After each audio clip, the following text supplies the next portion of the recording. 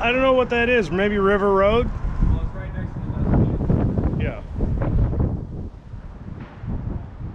Yeah. Uh, so we made it under. Uh, you can. This is November, so the river's pretty low. Uh, we got a great day today. Holy cow! It's supposed to be almost up to 60 degrees today. We get so lucky this year with weather on Thursdays.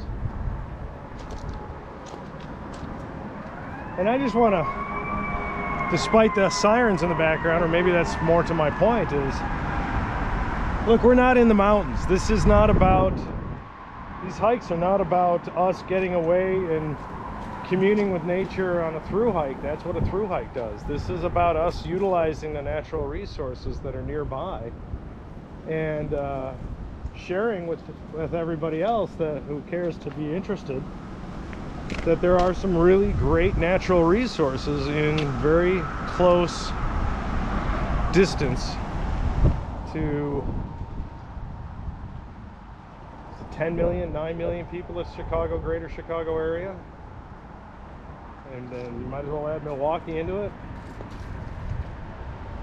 And since people are afraid to get on airplanes and can't really cross state lines, like this is this is pretty excellent. Ryan posting a sticker.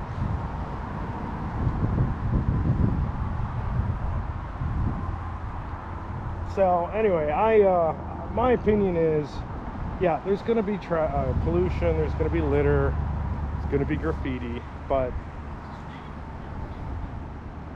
you kind of have to overlook that because we are not in Colorado, Utah,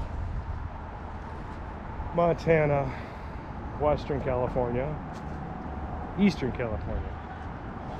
Um, well, let's just mention that. We're just not there. We're here. We're the, in Chicago. The dangerous crossing, you can just go under the bridge.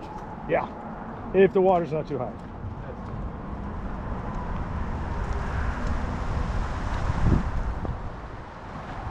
That was cool. Yeah.